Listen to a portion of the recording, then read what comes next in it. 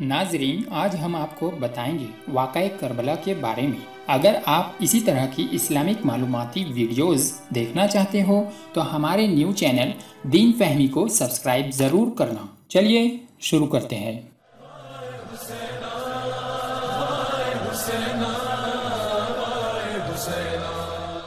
दोस्तों, आइए जानते हैं कि क्यों और कैसे हुए इमाम हुसैन शहीद? ये वाक्य है 570 ईस्वी का। जब अरब की सरजमी पर दरिंदगी अपने उरूज पर थी, तब अल्लाह ने अपने आखिरी नबी को भेजा। आपने अरब की जमी को दरिंदगी से निजात दिलाया और आपने लोगों को अल्लाह का पैगाम सुनाते हुए दीन इस्लाम की दावत दी। दीन इस्लाम सिर्फ़ मुसलमानों के लिए नहीं आया, बल्कि ये सभी इंसानों के लिए आया है। क्योंकि बुनियादी रूप से दीन में अच्छी बातों का ज़िक्र किया गया है और बुरे कामों से रोकने और बचने के तरीके बताए गए हैं। तो इस तरह ये दीन तमाम इंसानों के लिए सबसे बेहतर और अल्लाह का पसंदीदा दीन है। जब दीन इस्लाम को हज़रत मोहम्मद सल्लल्लाहु अलैहि वसल्लम ने फैलाना शुरू किया, तब अरब के लगभग सभी कबीलों ने मोहम्मद प्रॉफिट की बात मानकर अल्लाह का दीन कबूल कर लिया।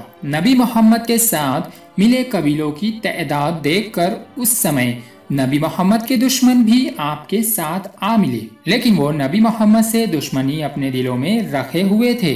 नबी मोहम्मद सल्लल्लाहु अलैहि वसल्लम 8 जून 632 ईस्वी को विशाल कर गए, यानी इस फानी दुनिया से कूच कर गए। उनके जाने के बाद ये दुश्मन धीरे धीरे हावी होने लगे। पहले इन दुश्मनों ने मोहम्मद वसल्लम की बेटी हज़रत फातिमा सलामुल्लाह के घर पर हमला किया। वसल्लम की बेटी हज़रत फातिमा सलामुल्लाह अलैहा के घर पर हमला किया।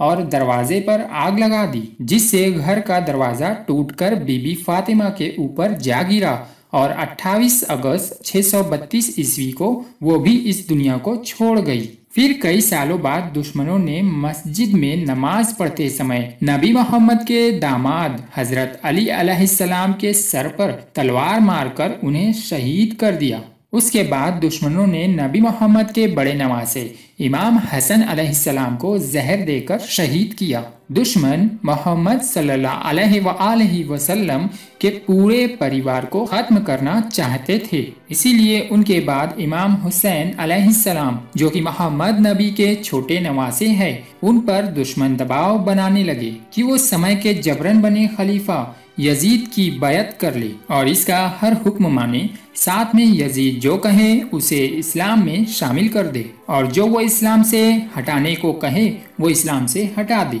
यानी मोहम्मद वसल्लम के दीन इस्लाम को बदल दे। इमाम हुसैन पर दबाव इसलिए था क्योंकि वो अपने नाना के चहीते नवासे थे। मोहम्मद सल्लल्लाहु अलैहि वसल्लम ने खुद कहा है, हुसैन मुझसे है और मैं हुसैन से यजीद यहाँ चाहता था कि हुसैन उसके साथ हो जाए और यजीद की बैत कर ले।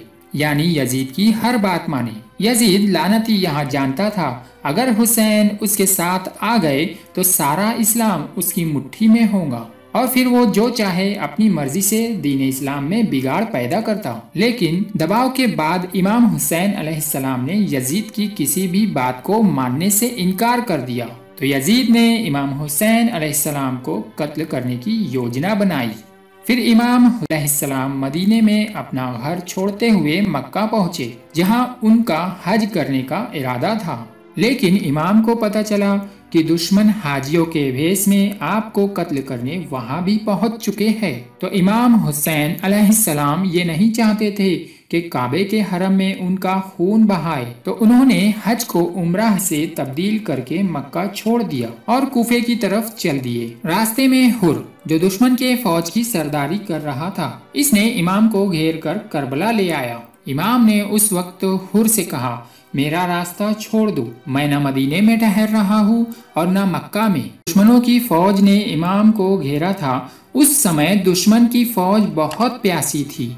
इमाम ने दुश्मन की फौज को पानी पिलवाया और ये देख दुश्मन फौज के सिपाही हज़रत हुर का दिल मचलने लगा। बिल आखिर हज़रत हुर दुश्मन फौज को छोड़कर इमाम के साथ हो गए और उनसे मुआफ़ी की दरख्वास्त की।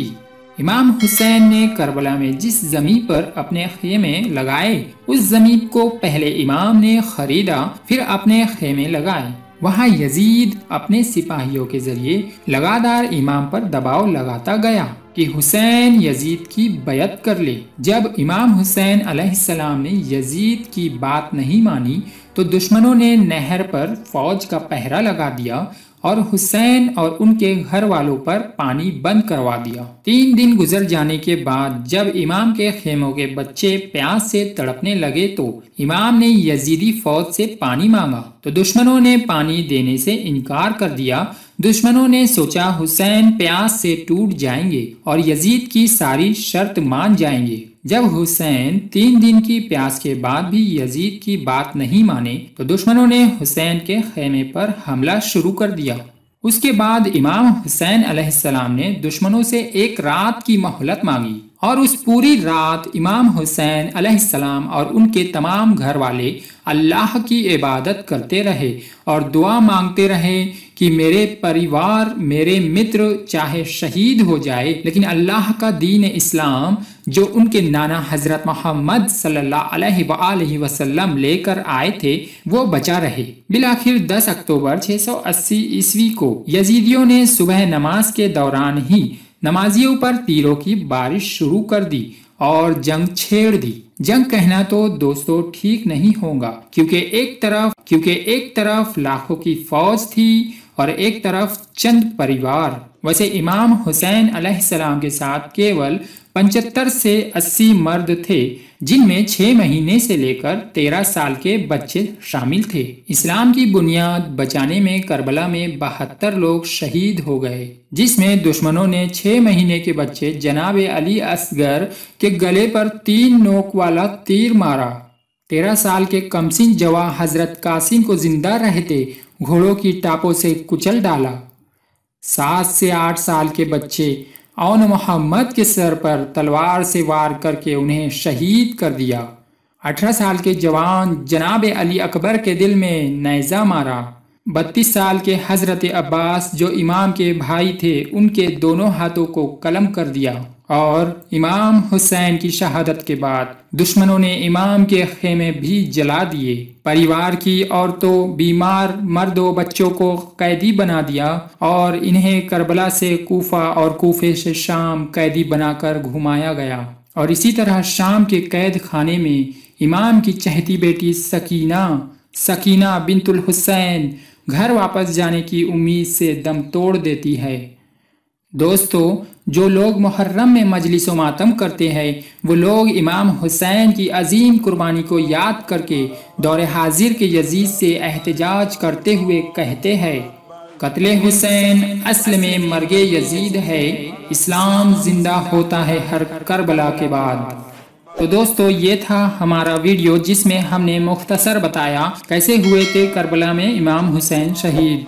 अगर आपका करबला से मुतालिक कोई सवाल हो तो ज़रूर कमेंट्स में पूछिए। हम आपको इसका जवाब देंगे। दोस्तों, अगर आपको हमारा ये वीडियो पसंद आया हो तो इसे लाइक के अपने दोस्तों के साथ ज़रूर शेयर करें, ताकि वो भी करबला और इमाम हुसैन अलैहिस्सलाम की शहादत के बारे में जान सके। और साथ में सब्सक्राइब कीजिए हमारे दीन फहमी और जेड टेक चैनल को, ताकि आप देख पाएँगे हमारे सारे वीडियोस लगातार। अगर आपको हमारी ये मुख्तसर सी मेहनत अच्छी लगी हो, कमेंट्स में इतना लिख दो। लबाई या हुसैन।